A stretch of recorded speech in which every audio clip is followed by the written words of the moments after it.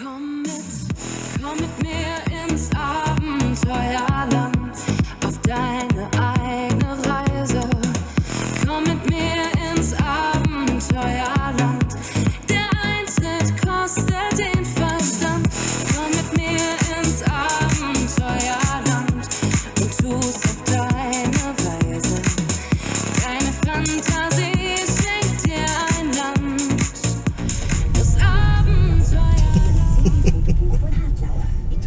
Die Urbilzgauer. Linksgauer kommt. Im Kreisverkehr abfahren auf Felbertauernstraße. Und genau das ist das Schöne und Interessante am Gleitschirmfliegen. Man kann seine eigenen Abenteuer kreieren und erleben. Und wenn man sich nicht genau die fliegerischen Modeberg aussucht, dann ist man auch, so wie wir, am Anfang September in die Dolomiten allein unterwegs. Wie man zuerst gesehen hat, war die Wetterprognose für die drei Tage in die Dolomiten sehr, sehr gut. Und deshalb haben wir uns sehr kurzfristig zusammengeredet und sind aufgebrochen Richtung Silian. Ich war am Turntaler noch nie oben und deshalb wollte ich unbedingt da oben einmal fliegen gehen. Einige Stunden ist man von uns daheim schon unterwegs und somit sind wir gegen ja, drei Nachmittag am Startplatz gewesen. Am Anfang waren wir uns mal nicht sicher, ob wir nicht am falschen Startplatz sind. Laut Wickenbild war da ein ganz schöner Nord drinnen. Weit und breit waren keine anderen Paragleiter zu sehen. Und das auf einem Berg, wo eine Flugschule im Tal stationiert ist. Wir haben uns deshalb die Wettersituation nochmal gemeinsam genauestens angeschaut und sind dann zu dem Schluss gekommen, dass wahrscheinlich äh, sportlich sein wird, aber fliegbar. Wie wir dann in der Luft waren, hat sich unsere Prognose bestätigt. Ein richtiges Ziel oder ein Stricken haben wir uns da nicht vorgenommen gehabt. Wir wollten uns da bei dem Flug einfach einmal ein bisschen an die Verhältnisse gewöhnen. Wobei ich natürlich schon im Hinterkopf gehabt habe, wenn es richtig gut und hoch geht, war mein Plan, gleich zu die drei Zinnen reinzufliegen und nach Möglichkeit gleich einmal drüber zu fliegen. In die drei Tagen wollte ich unbedingt einen Überflug über die drei Zinnen schaffen. Ein Fliegerfreund von uns hat das vor zwei Wochen geschafft gehabt und wir wollten das wiederholen. Da sieht man übrigens unseren ersten Wendepunkt an dem Tag. Das Doblacher Pfannhorn, ein Grenzberg zwischen Österreich und Italien. Wie ich ja schon erwähnt habe, war es da sportlich da drüben auf der Südseite. Darum bin ich nachher umgeflogen Richtung Helm. Der hat da so richtig eine schöne Nordwestkanten, wo ich mich gerade oberhalb befinde. Der Hang war schön im Luft und somit ging zuerst sehr gemütlich zu fliegen. Da ich nicht gar so hoch angekommen bin, war es am Anfang ein bisschen eine Sucherei, aber wenn man dann die Heichen vor der Bergstation gehabt hat, dann ist richtig Glas weggegangen. Auf dem Grad, den wir da zurückfliegen, verläuft übrigens die Grenze zwischen Österreich und Italien. Aus der Sicht ist rechts Österreich und links Italien. Da sieht man Silian und da vor uns sieht man die Holbrucker Spitze. Einige Kilometer hinter der Holbrucker Spitze haben wir dann umgedreht und dann sind wir da sicher so eine Stunde auf und ab geflogen, weil da ist richtig Glas gegangen. Die Basis war um die Zeit auf 3300 ungefähr. Und nach einem Zeitl hat es mich dann an jemand gefreut, da sieht man übrigens die drei Zinnen. Und ich bin einmal in die Richtung um mich gestartet. Wie ich dann da umgeflogen bin, war mir schon klar, dass das äh, eher ein Zufallstreffer ist, dass ich da drüben um die Zeit noch wegkomme. Das war einfach schon viel zu spät. Die Seitentäler waren schon total im Schatten. Da kann einfach nichts mehr gehen. Aber wir haben ja nichts zu verlieren gehabt. Und probieren geht über studieren. Der Chris hat mich begleitet. Der Simon hat am Gipfel einen dringenden Termin gehabt und ist deshalb abgespiralt. Über 6. ist da eine ganz schöne Durchquerung, aber wenn es hoch geht, dann darf das eigentlich schon machbar sein, dass man da umkommt. Somit haben wir an dem ersten Tag gleich einmal ein Rendezvous mit den schroffen Berg der Dolomiten gehabt.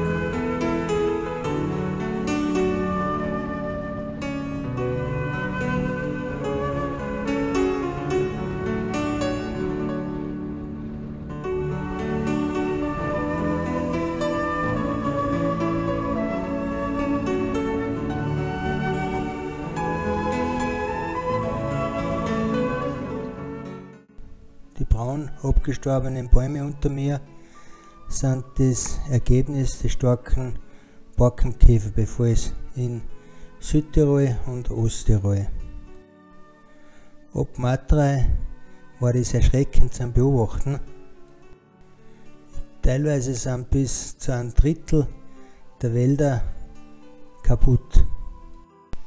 Da kann es nochmal zu riesige Probleme kommen in Zukunft da ja der Schutzwald zu stark befallen ist. Die Starkwindereignisse, der Schneedruck und die Hitze der vergangenen Jahre haben die Vermehrung des Buchdruckers massiv begünstigt.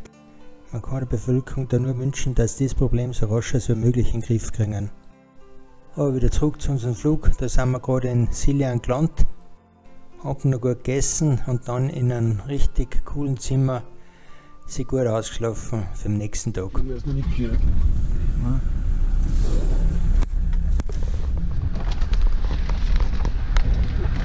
Geheimweg. Das ist sogar ein Radfahrverbot. Also sind wir richtig. hey, okay, wenn ich filme. Ich, mache ein paar, ich brauche mal ein paar Fäsche drauf paar Jüngere.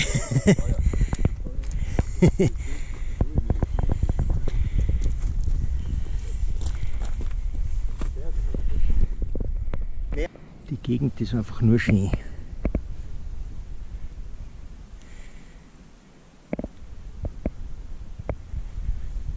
Muss ich echt einen Rundblick machen.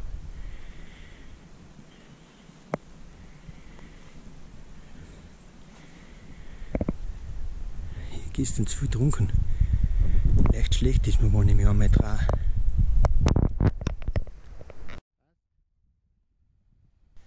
Im Hintergrund die drei Zinnen. Die Basis ist noch sehr tief. Und wenn man sich den Wickenversatz anschaut, sieht man, dass da ein deutlicher Nord drinnen war auf den Tag. Wir haben damit gerechnet, dass im Laufe des Tages die Basis da deutlich steigt. Unser Plan war, zuerst einmal schauen, dass wir umkommen, zu die drei Zinnen und da drüben wollten wir einfach einmal abwarten und schauen, was passiert, wie sich der Tag so entwickelt. Nach dem Start war die Thermik eher schwach, aber mir hat das eh ganz gut gepasst, da wir da im Lee herumgeflogen sind. Durch den Nordwind war die Thermik Richtung Tal zurückversetzt. Deshalb war dann das Umfliegen Richtung Zinnen relativ einfach da der Wind da ganz schön geschoben hat. Da drüben war es dann gemütlich und ruhig und es hat sich ganz ein mystischer Flug, aber ein bisschen in die Wolken drinnen ergeben. Vorher noch, also da wo ich jetzt gerade bin, oberhalb vom Startplatz, hat man sich die Heichen schon verdienen müssen und wir haben da sehr aktiv fliegen müssen damit wir den einen oder anderen größeren Klopper verhindern.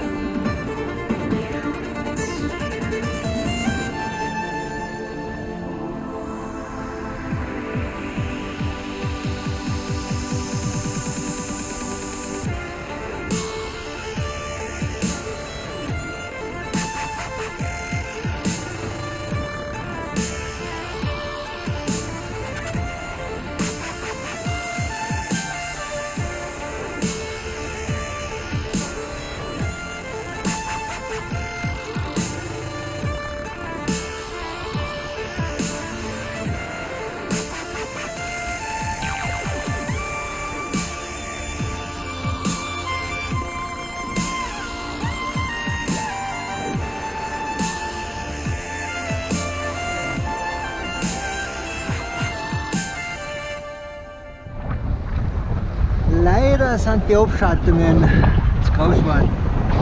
Es geht nirgends mehr wo was. Schade. Ah, jetzt so gern Zinnen überhöht. Ist nicht ganz gelungen. Aber war trotzdem ein geiler, mystischer Flug. Irgendwie. Mystisch, kann man schon sagen, ja. ja das kann schon was, das da fliegt. Absolut. Ein bisschen zum Aufpassen ist halt, überall kann man nicht zufliegen und reinfliegen.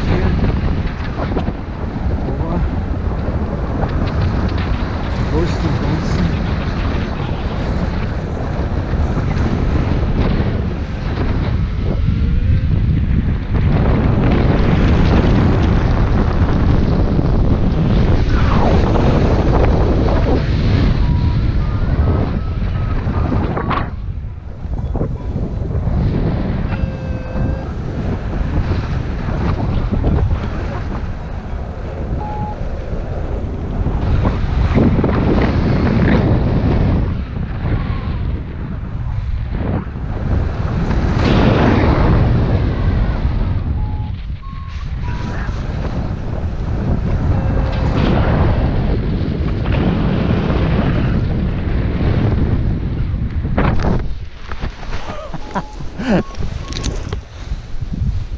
Ganzen Ja. Konrad Lorenz mit seinen. Der, der Ah, das, ist Der geile Konvergenz da drüben da gehabt, gell, auf Aha. 2 auf. Aha. Ja, nochmal cool erwischt. Aber leider hat es auch Schatten angefangen. so so schnell schaut, gell. Am Ende des Tages habe ich mir nach dem schönen Flug schon ein Landepärchen vergund. Der nächste Tag hat bei mir mit einem sehr, sehr schlechten Start angefangen.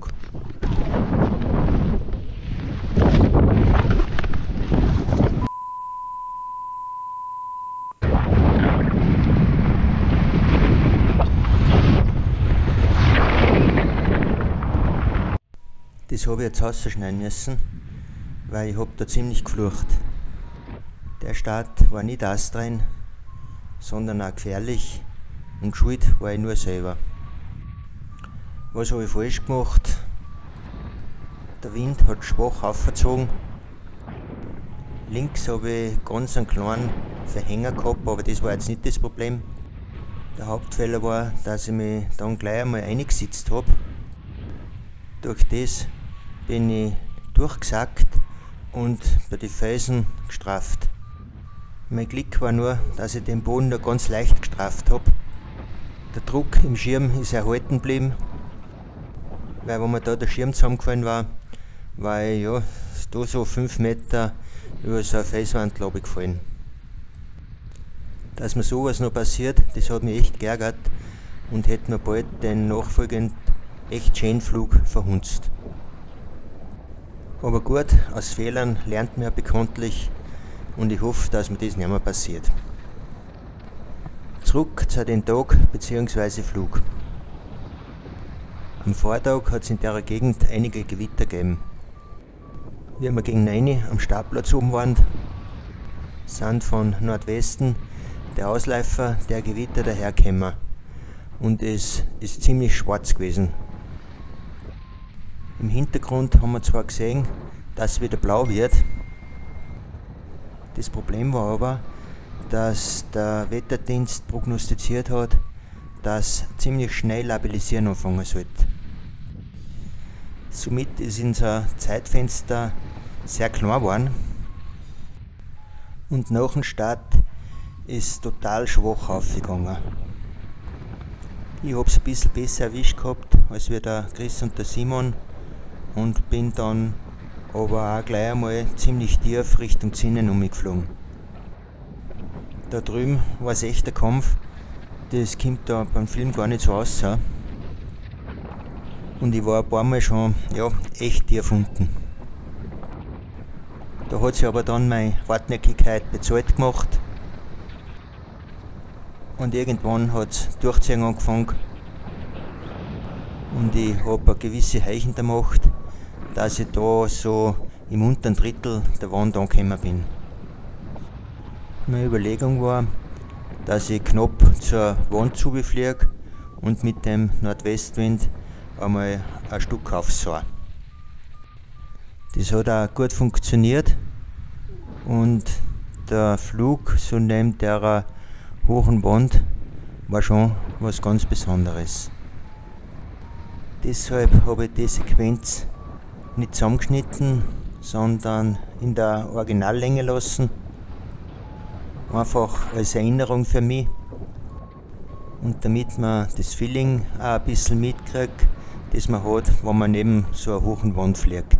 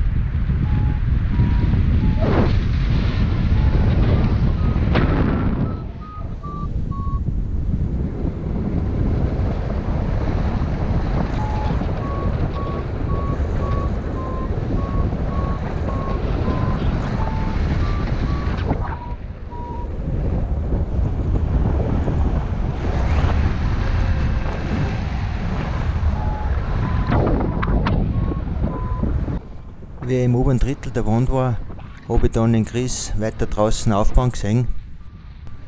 Das hat echt gut ausgeschaut. Ich bin dann in sein Thermikbad eingestiegen. Die Thermik habe ich dann aber nicht mehr auslassen, weil ich gewusst habe, wenn ich da maximal Heichen mache, dann habe ich mein Ziel erreicht. Und ein Überflug der Zinnen steht nichts mehr im Wege.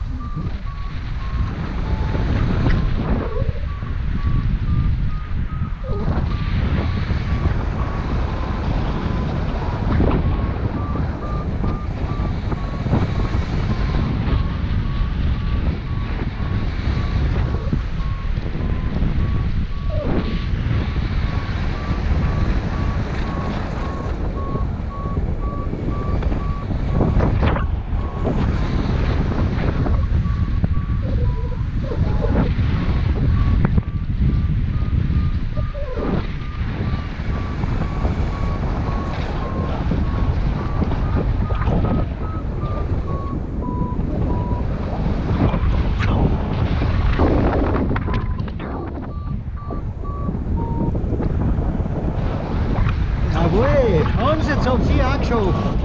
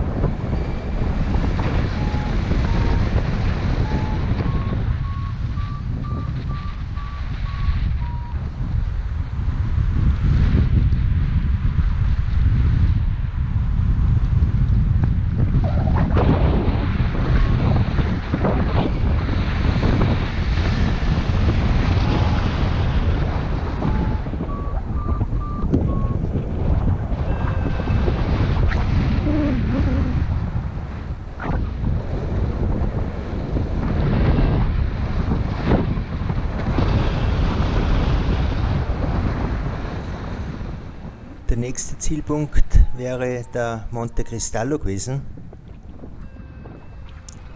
Das Wetter hat zu dem Zeitpunkt auch noch ganz gut ausgeschaut. Die Nordwesthänge haben richtig gut angezogen, teilweise schon fast ein bisschen zu viel. Aber gleich nachdem wir übers Tal drüber geflogen sind, hat sich mein Vario bemerkbar gemacht und mir mitgeteilt, dass wir uns einer Flugverbotszone nähern. Darum haben wir unsere Unternehmung abgebrochen und außerdem ist relativ schnell ziemlich dunkel geworden. Die Entscheidung hat ganz gut passt, denn wie der Simon gelandet ist, der war der letzte von uns, der zur Landung angesetzt hat, hat er mir erzählt, dass ihm schon überall großflächig und ruhig mit guten Steigwerte aufgegangen ist. Ein typisches Anzeichen für Überentwicklungen. Und bei so Verhältnissen bin dann ich immer lieber am Boden als in der Luft.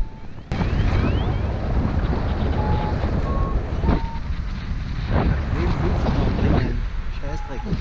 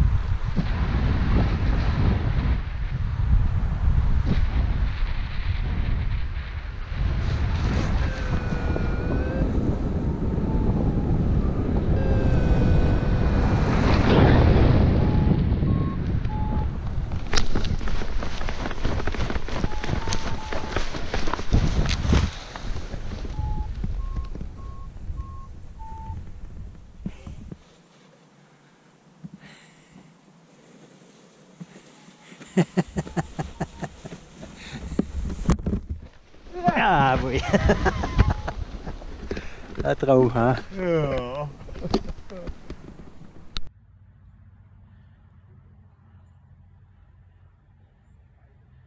Ist trocken wie die Sau.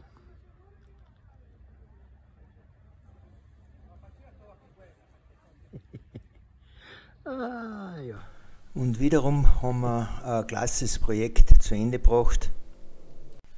Aber Gott sei Dank gibt es noch so viel zu erleben. Und das nächste Vorhaben ist schon wieder in Planung.